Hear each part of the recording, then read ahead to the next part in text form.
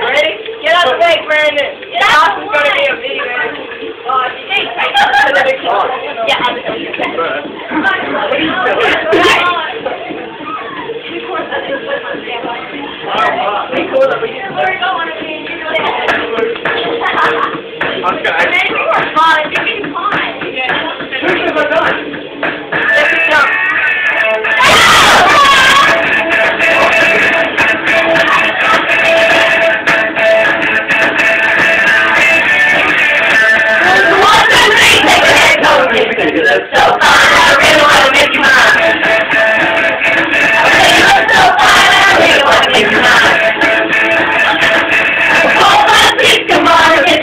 You. don't